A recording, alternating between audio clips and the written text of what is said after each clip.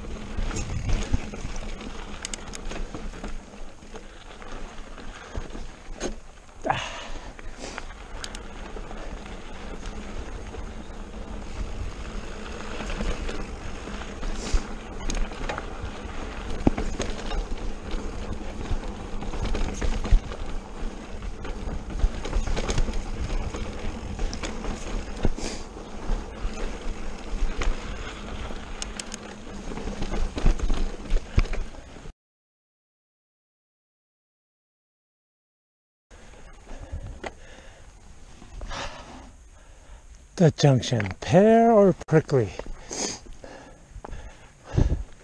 Which way to go?